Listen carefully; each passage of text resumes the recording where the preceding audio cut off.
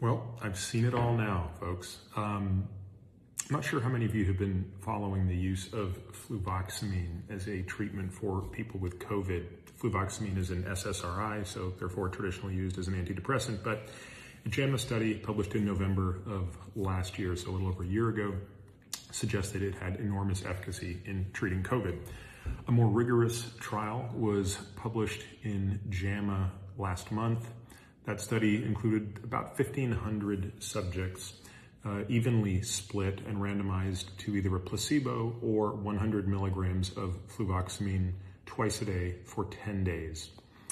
On the per protocol treatment, meaning for the people who were able to complete the drug, um, the results were so overwhelming that the study was actually stopped prematurely. So it resulted in a 66% reduction in hospitalization and a 91% reduction in death. Um, there were no difference in adverse effects either between the arms in this study. So when you consider this study and when you consider the previous study, it seems pretty clear to me that fluvoxamine is kind of a no-brainer uh, when you're talking about uh, treating patients with COVID.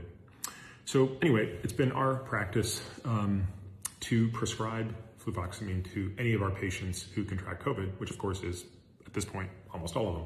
Uh, at some point or another, of course, everyone's going to get COVID.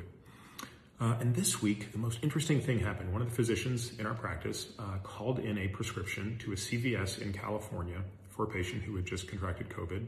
And the pharmacist said, no, we are not going to fill it. We will not fill fluvoxamine because you are prescribing it at the dose for which it's used to treat COVID, and this is not part of the official COVID guideline physician proceeded to explain to the pharmacist that, in fact, it is something that has level one evidence to support, uh, but that didn't seem to matter. So we uh, fortunately were able to figure out another way to get that from a different pharmacy, but I couldn't believe it. Now, that might not sound like a really big deal. You're like, ah, come on, what's the big deal? Go to another pharmacy, but that's a pretty big deal.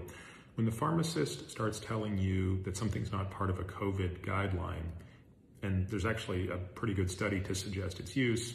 I don't know, I have a problem with that. So anyway, this is kind of irksome to me, especially in light of the new variant, which, um, as far as I can tell, is nothing to really be concerned about because it doesn't seem to have any severity whatsoever. So it's a far more transmissible version of this virus that, based on all available evidence to date, um, doesn't seem to result in any increase in morbidity or mortality.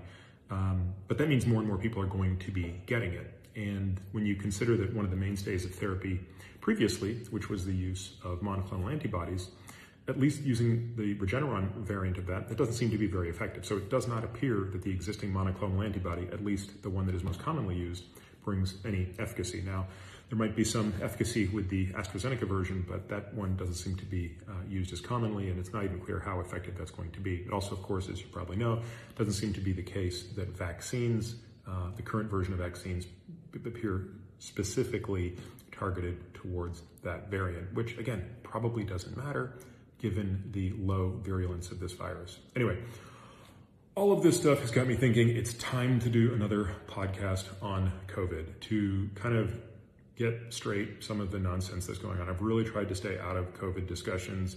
I find it to be some of the least interesting topics to get into. Um, I have very strong points of view on it.